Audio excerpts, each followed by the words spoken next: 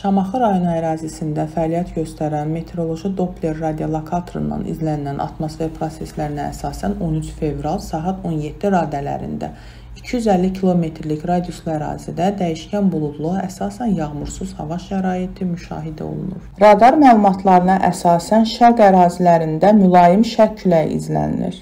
Radarın proqnostik məhsullarına əsasən yaxın 2 saat ərzində Şamaxı rayonunda fəaliyyət göstərən radardan 250 kilometrlik məsafədəki rayonlarda əsasən yağmursuz, dəyişkən buludlu hava şəraitinin davam edəcəyi proqnozlaşdırılır.